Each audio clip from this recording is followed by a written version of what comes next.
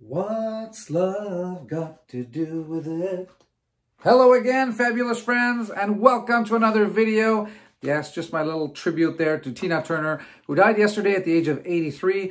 Tina Turner, rest in peace. You have marked the music industry forever, and your legacy is uh, there to stay for a long, long time with all of us that followed you throughout your career. All right, so today I wanted to get to some opening of Flesh and Blood History Pack 2. Now, this is a French version of History Pack 2. As you may know, the English version is not out yet until, I believe, the fall. So this commenting will even be en français. Yes, French commenting as we open the packs, and Josie will be helping me to do that. But before I get to the box opening, I wanted to come on screen and talk to you a little bit about the last video I did, with the one where I talk about the print runs for Legend Story Studios. And one of the comments I received I thought was an interesting one, and I wanted to come back a little bit on this, on that comment, uh, right here now for you. I had someone who actually mentioned the fact that in his opinion, Monarch First Edition was way overprinted and the only reason why things went well afterwards is that there was a debacle with Magic the Gathering and a lot of players switched games, a lot of new players came on, and it saved the fact that uh, they had printed too much Magic the Gathering. Well, I want I don't remember mentioning this, but if I didn't, here we go. I was uh, not in accord or wasn't agreeing with that comment for the simple fact that the following sets, right, which was Tales of Aria, was printed at 208 or 209,000 booster boxes, and that's way more than the uh, first edition of Monarch. And actually, the set after that, Everfest, was printed at the level of 229,000. Now, if there would have been a way overprinting of Monarch, they would not have come out with so much uh, Tales of Aria, followed by Everfest. Yes, there were new players. And by the way, this happened like a year ago, over a year ago, and the Magic the Gathering debacle, I would say, is uh, only about six months old, right? With the 30th anniversary and everything they've done over the past six months. So that occurred, the Magic the Gathering debacle, way after the printing of these three sets on the Flesh and Blood side. So that is why I do not agree. I think that they, they really knew what they were doing. And don't forget, there's this coming Dusk Till Dawn set that will require the use of a Monarch, albeit it will be unlimited version that will be used. And the unlimited of Monarch over, uh, I don't recall the exact uh, print print run. But uh, yeah, we needed that. And as we can see, all is good right now. So that's my little bit, my take about uh, what that person was seeing, saying in the comment section. So I think that, uh, yeah, it was all good.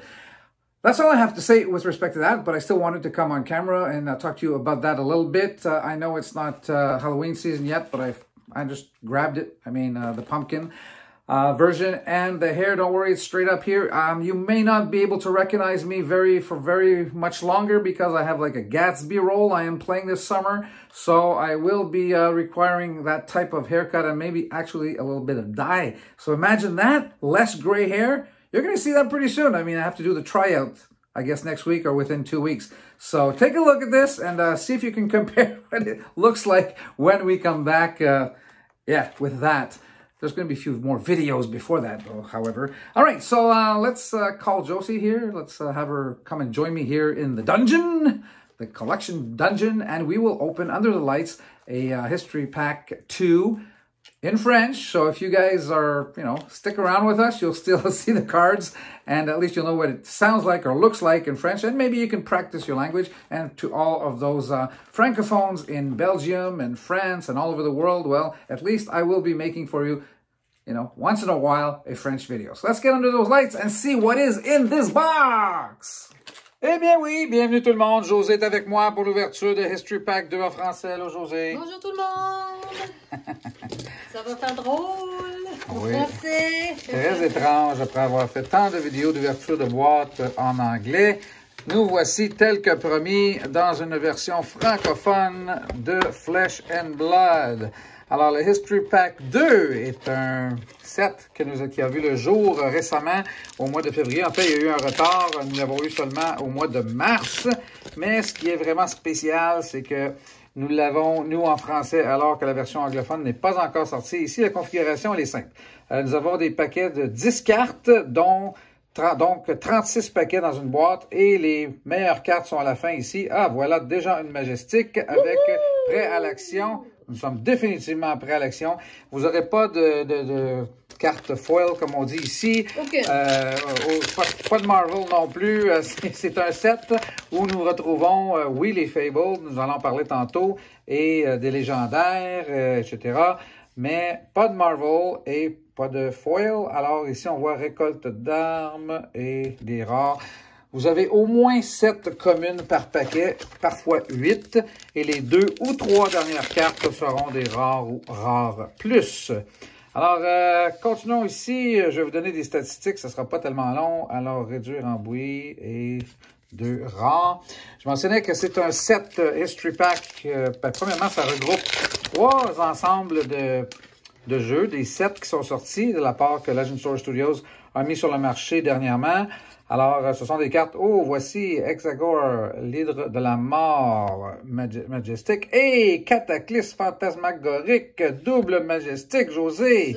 Déjà trois Majestiques, soit dit en passant, avec les paquets, les boîtes que nous avons ouvertes. À date, nous avons été quand même euh, assez chanceux, mais on, a remarqué qu'il y avait toujours environ 11 ou 12 Majestiques par boîte, une à tous les trois paquets. Alors, c'est un, ratio très intéressant euh, tisser la foudre, et voilà, rare, rare. Alors, euh, donc, revenons aux moutons. 536 cartes dans ce set, comme je le disais, réunit des cartes de Monarch, de Tales of Aria et de Everfest. Euh, les sets 4, 5 et 6 de Monarch, de Legend Store Studios, de Flesh and Blood. Alors, euh, on va voir ici, quelques rares seulement, rien à voir là. J'ai mentionné, que Equipack, donc nous l'avions ici en français alors qu'il n'existe pas encore en anglais, ça ne sera pas avant l'automne. History Pack 2, donc euh, la version Deluxe, c'est écrit sur la boîte, là, version Deluxe ici, comme vous pouvez voir. Deluxe. Deluxe. Et Deluxe veut dire quatre langues, donc le français, l'italien, l'espagnol et l'allemand. Alors, Majestic ici, encore une fois, José, notre quatrième Majestic en quoi, huit paquets, je dirais? Ça va assez vite, ça va assez vite. Et euh, bon, sur les 135, 136 cartes, nous retrouvons, retrouvons les trois cartes Fable. Par contre, on n'a pas de Marvel, mais on a les cartes Fable des trois sets dont nous parlions tantôt. Celles qui représentent, nous allons voir ici premièrement, rare, rare, triple rare. Celle qui représente le set Monarch. La Fable porte le nom en français de Grande Bibliothèque de Solana. Ça, ça se traduit bien. Alors, dis-tu fable ou fable? Aucune idée. On l'a toujours dit en anglais, nous, donc euh, c'est la fabled card. OK, trois rares, alors euh, rien de spécial. Nous recherchons. Il y a des anglicismes C'est certain, certain, certain qu'on va. On n'a pas le choix, on a tellement ouvert de paquets de boîtes en anglais. Oh!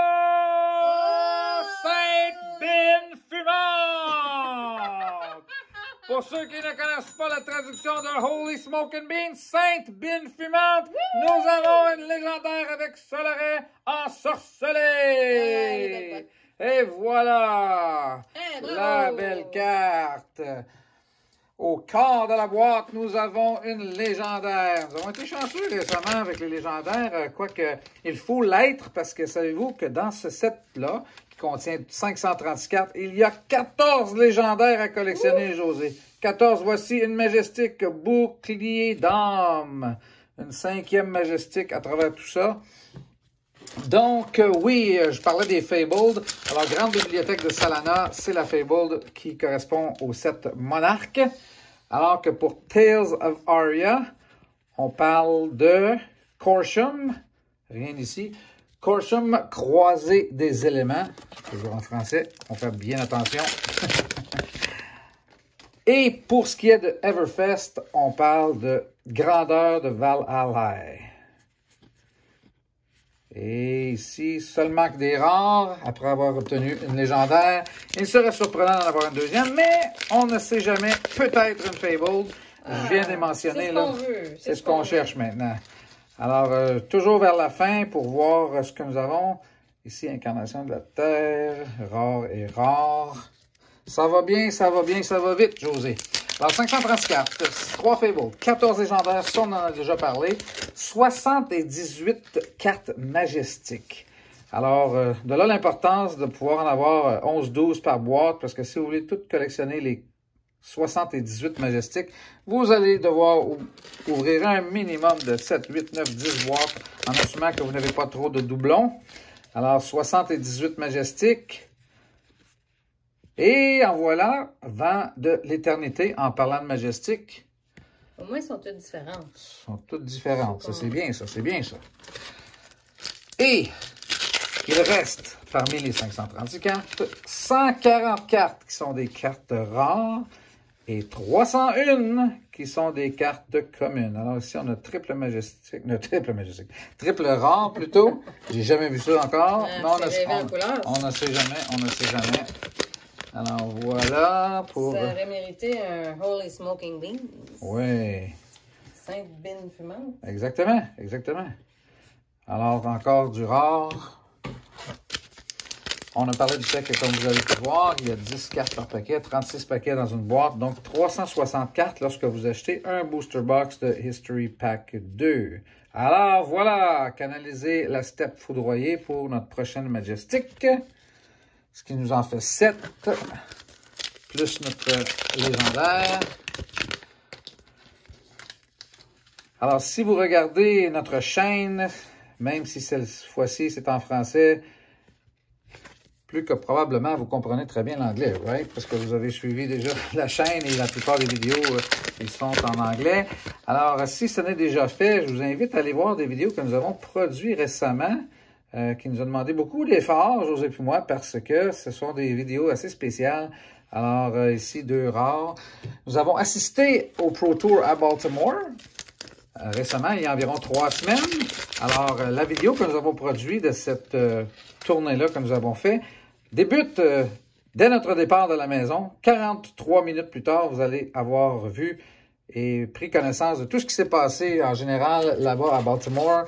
Euh, notre arrivée, les inscriptions, les vendeurs de cartes qu'il y avait là-bas, euh, des ouvertures de boîtes, première édition de Welcome to Raid, de Arcane Rising et de Crucible of War.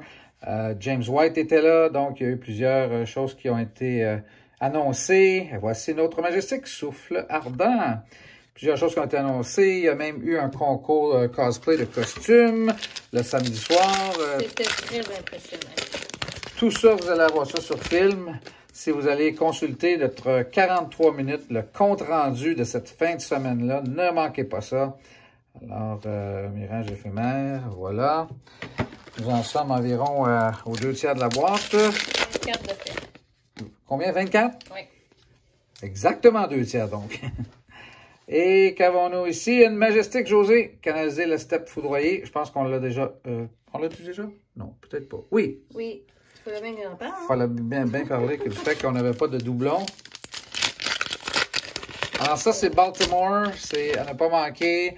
Et une autre aussi que nous avons fait récemment, c'est une analyse du print run de, de je combien de cartes, l'impression de cartes des derniers sets qui a été fait par Legend Story Studios. Alors, vous allez avoir les quantités qu'ils ont déclaré avoir imprimées pour euh, les, derniers sets, disons. Ça nous permet de faire une analyse assez intéressante. On voit au niveau des premières éditions et des euh, euh, Unlimited, quoique maintenant, il n'y a plus d'édition Unlimited, mais on voit de quelle façon ils ont procédé dans la publication de ces, dans l'impression de ces cartes-là. Et là, on comprend mieux, je fais surtout une analyse par rapport à Monarch où tout le monde disait qu'il y avait eu beaucoup trop de cartes de, booster box de produits de Monarch 125 000, alors que ce n'est pas du tout le cas en fin de compte. Euh, les sept qui ont suivi ont vu euh, une impression accrue, tant au niveau de Tales of Aria que de que. Et euh, c'est plutôt que il y avait eu une, je sais pas si vous, en, si vous êtes dans Flash and Blood depuis un petit bout, il y avait eu euh, une, folie furieuse pour euh, Crucible of War. Et là, les prix ont monté en flèche et les prix étaient très hauts. Tout le monde avait manqué leur, euh, leur coup avec Crucible. Donc, personne ne voulait manquer son coup avec Monarch. Là, beaucoup de demandes, donc, il y en a suivi et les prix ont monté en flèche. Ce qui fait en sorte que les gens qui ont payé 600 dollars, imaginez-vous, oui, jusqu'à 600 dollars pour une boîte de première édition de Flesh and Blood. Euh, de Flesh and Blood. De Flesh and Blood, de Monarch se, sont vus euh, se sont vus. Oh, voici une écho du printemps, une majestique, la, la dixième, c'est ça, la dixième. Elles ont presque perdu leur chemise, euh, surtout si, si, on a acheté beaucoup à 600 euh, Les prix sont vite redescendus à un niveau euh, plus acceptable. Et, et, voilà, la plupart des gens, on en parle. Majestique, non, Aurore. On en parle, disons, donc, durant cette vidéo-là. Est-ce que nous allons faire, José, une autre vidéo que je vous, de, je vous suggère de ne pas manquer? Alors, euh, un autre petit 29-30 minutes d'analyse de ce que fait Legend Store Studios au niveau de l'impression des cartes.